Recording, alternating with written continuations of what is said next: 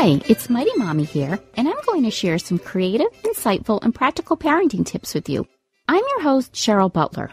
The grandparents are joining you and your family for dinner tonight, and everyone is really looking forward to the delicious pot roast they've smelled cooking all day long in the anticipation of this fun mealtime. Everyone is finally gathered at the table, and before the first roll can be passed, your 18 month old decides it would be much more fun to hurl his potatoes at Grandma's head. His aim is pretty good, too, and he not only hits her, the gravy that was once clinging to the potatoes is now spattered on your four year old in her brand new dress. Here we go again. Toddlers may not say a lot, but they sure do know a lot, and one thing most have in common is testing the waters. Food throwing is not something they decide to do just to get you aggravated or to make a mess. They have much smarter reasoning. They want to see how you will react after it's done.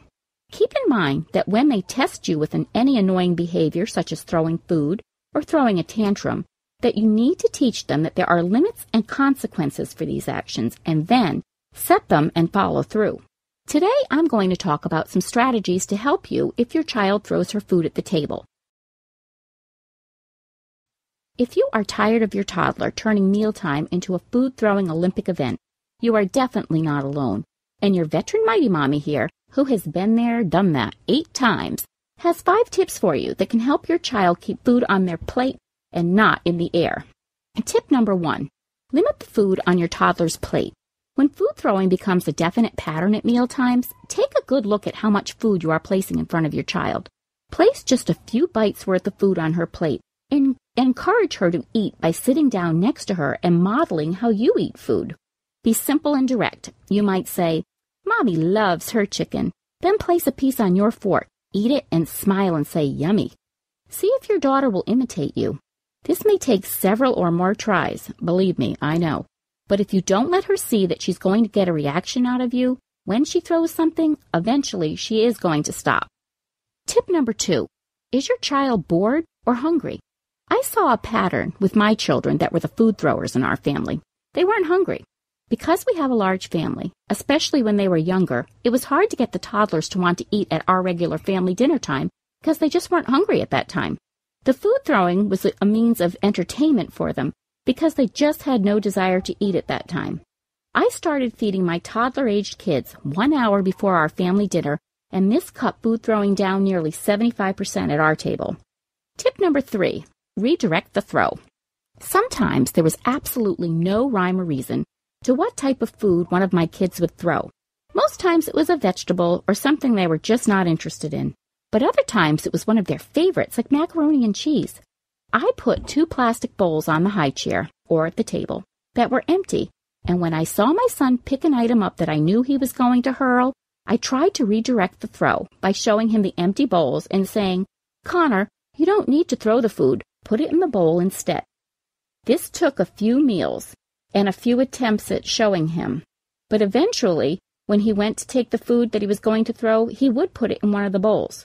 Of course, a couple of times he did empty the bowls on the floor, but then I simply removed him from the high chair or the table and told him that mealtime was now all done.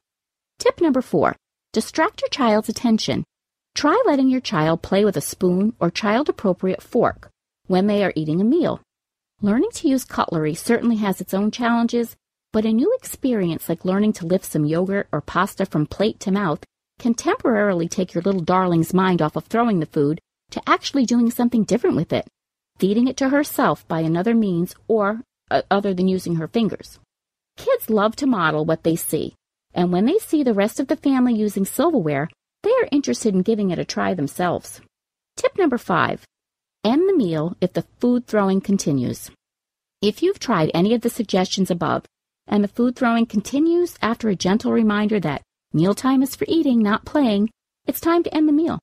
Clear your child's plate and remove him from the high chair or table. You can lovingly but firmly say, We eat our food, we don't throw it. You must not be hungry right now, so we'll wait until dinner now until we try again. Only do this, however, if you plan on being consistent. Don't remove her from the table and then bargain with her if she doesn't throw her food that she can sit back down again. You are not going to starve her or cause psychological damage by doing this a few times until she gets the message.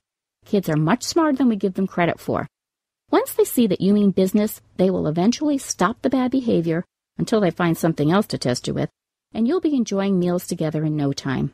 Young children throwing food is one of the most normal yet frustrating behaviors that we parents face, especially when we dine out at a restaurant or when it continues for what seems an eternity. Stay tuned into your child when this happens. It could be as simple as she's just not hungry, or more likely, she's feeling her oats, not eating them. Try one or two of the tips above, and remember to stay consistent. That's key. And don't let them see you get frustrated. This too shall pass, and someday you'll be sharing these strategies with other parents who will be facing the same messy situation. If you have a question or have a suggestion for a future Mighty Mommy episode, please email me at mommy at quickanddirtytips.com. Check out the Mighty Mommy Facebook page where I share lots of quick parenting tips all week long. You can also follow me on Twitter at Mighty Mommy or join Mighty Mommy on Pinterest.com where you can visit all of my family friendly boards. Enjoy those family meal times with your toddler, and as always, happy parenting.